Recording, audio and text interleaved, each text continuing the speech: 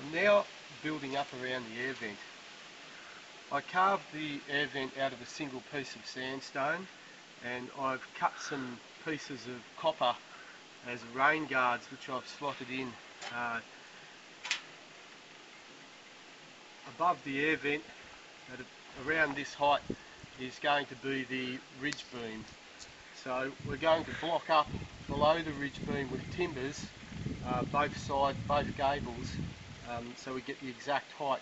Then we'll support the ridge beam when the rafters go on by the rafters. I can then take the chocks out and build up with the masonry up to the ridge beam. I've been quite careful with this facade to uh, make sure it's a, a, nice a nice job.